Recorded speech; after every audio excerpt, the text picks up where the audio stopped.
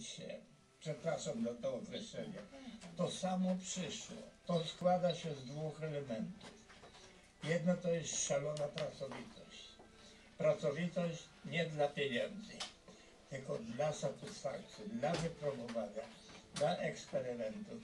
To, co się kiedyś nie lubiło, bo ja jestem tym fotografem niechcianym, to można tak się zmienić i tak pokochać, które wypełniło mi życie w sposób bardzo rozmaicony, bardzo ciekawy.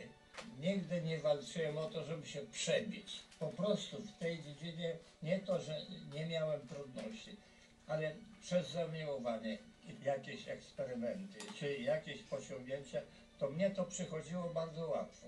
Każdy twórca przede wszystkim najpierw robi dla siebie, tworzy dla siebie.